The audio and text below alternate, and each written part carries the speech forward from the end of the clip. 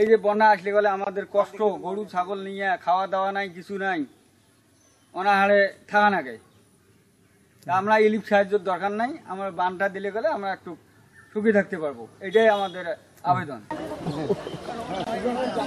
না না ঠিকই আছে দিয়ে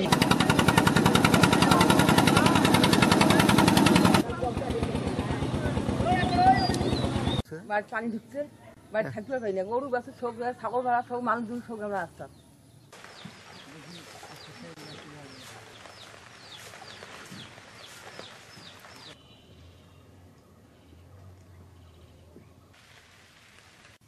আমি এই এক কোমর পানির মধ্যে খুব মানে গরু, ছাগল ধরি, বাচ্চা কাচ্চা নিয়ে এখানে আসি। একবার পানি আসছিল, আমরা আবার শুকেছি আবার ওখানে বাড়ি গেছিলাম। এখন পানি আবারও, মনে করে, উঠছে, আবার পলিটিন টাঙ্গিয়ে এইভাবে গরু, ছাগল ধরি আসি আমি।